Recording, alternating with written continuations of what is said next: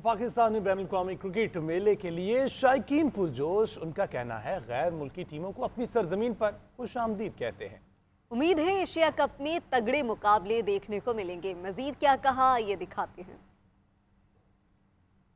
बाद Asia cup की पाकिस्तान में वापसी है। मुल्तान में पहला मैच है तो मैं तो काफ़ी ज़्यादा एक्साइटेड हूँ। मैं अपना ऑफ़िस से छुट्टी लेकर आई हूँ मैच देखने।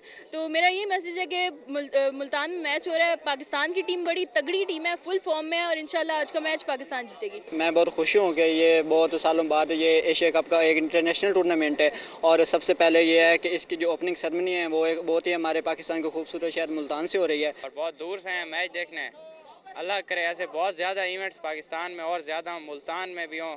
इन पाकिस्तान इस बार एशिया कप की ट्रॉफी ज़रूर उठाएगा। बहुत खुशी है एक्साइटेड हैं। इस तरह के इवेंट मुल्तान में खासकर तो होने चाहिए, जिस तरह का हमारा ये इलाका है। बहुत कम इवेंट होते हैं इंटरनेशनल स्तर भी होना चाहिए। तो इन पाकिस्तान को सपोर्ट करेंगे और पाकिस्तान जीतेगा। पाकिस्तान जिंदाबाद।